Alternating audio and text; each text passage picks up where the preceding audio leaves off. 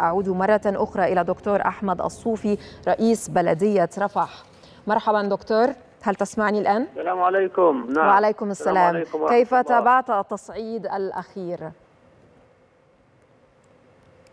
في هذه الأثناء وهذه الحرب المجنونة التي تشنها يشنها العدو الصهيوني على شعبنا وحرب الإبادة الجماعية وجريمة الحرب التي ترتكب بحق شعبنا نتقدم الآن إلى أمتنا العربية والإسلامية وإلى شعبنا الحبيب الشقيق في مصر.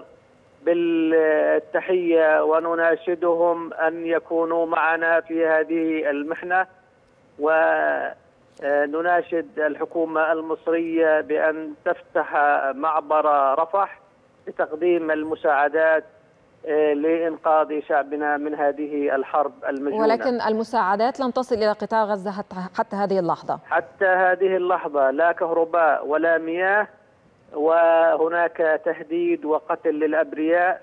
أوشكت جميع الخدمات على التوقف وخاصة المستشفيات. نحن في خضم جريمة حرب واباده جماعية للشعب الفلسطيني. نعم يعني بالنسبة لأعداد النازحين كم وصل الآن؟ أعداد النازحين في مدينة رفح شارف على المائة ألف وهذا الكم الهائل من السكان بعد عدة ساعات لن نجد لهم غذاء ولا ماء في هذه المنطقة مما ينذر بكارثة إنسانية كبيرة في القرن الواحد والعشرين نعم وبالنسبة للمستشفيات وبالنسبة لحالة الجرحى والقتلى أولا أعداد الجرحى والقتلى وأعداد الجرحى والضحايا وكذلك أيضا بالنسبة للمستشفيات كيف هو وضعها؟ وضع المستشفيات حرج جدا وتوشك على إيقاف خدماتها لعدم توفر الكهرباء والوقود اللازم لتشغيل المولدات وتشغيل غرف العمليات والعناية المركزة. نحن في خطر شديد في هذه الأثناء. ان إن العالم العالم الظالم الذي يتشدق بحقوق الإنسان ويكيل بمكيالين لا ينظر إلينا كبشر ولكن نقول لهم إن باقون على أرضنا لن نرحل منها. وسنظل كشجر الزيتون على هذه الأرض سنظل صامدين واقفين إلى أن يكتب الله لنا النصر أو الشهادة. وبالنسبة لأعداد الضحايا والمصابين كم وصلت الآن؟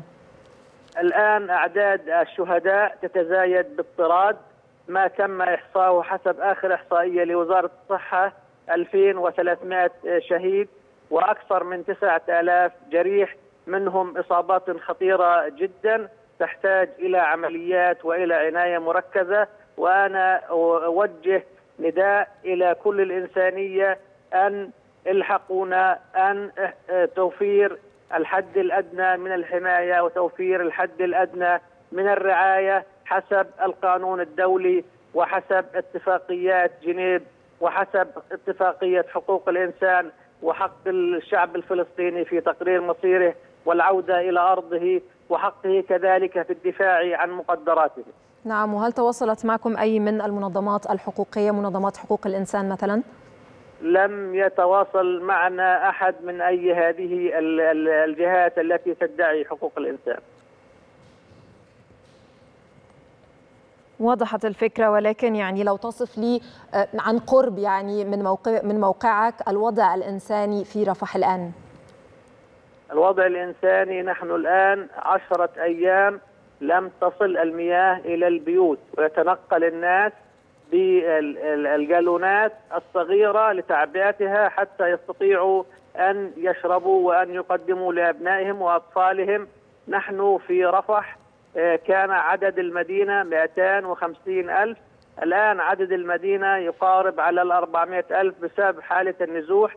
جميع مراكز الإيواء وجميع المدارس والساحات الكبيرة والمؤسسات مليئة بالنازحين من منطقة الشمال ولن نستطيع توفير كل ما يلزم لإيواء هؤلاء الناس.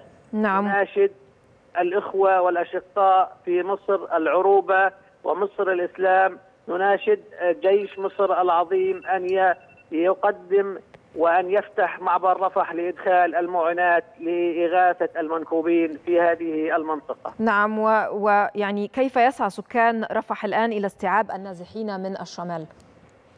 نتقاسم لقمة العيش معا ولن نخضع ولن نركع وسيكون مصيرنا بإذن الله متعلقا بأمر الله وقدره إن شاء الله وبالنسبة يعني ما هي خططكم في الساعات القادمة؟ الخطط في الساعات القادمة أن نقدم ما نستطيع تقديمه لأهلنا ومواطنينا وتثبيتهم والسعي الحثيث مع جميع الجهات لفتح معبر رفح وإدخال المعونات.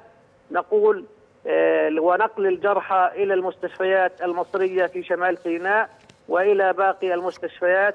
نقول نحن في كارثة إنسانية كبيرة وإن لم يتدخل اولا إخواننا العرب وثانيا المجتمع الدولي لإنقاذ الشعب الفلسطيني فإن فإنكم ستشهدون على جريمة العصر وكارثة إنسانية تحل بقطاع غزة ومجزره كبيرة تسجل الآن وتبث مباشرة على الهواء. نعم أشكرك من رفح دكتور أحمد الصوفي رئيس بلدية رفح. شكرا جزيلا على هذه المعلومات.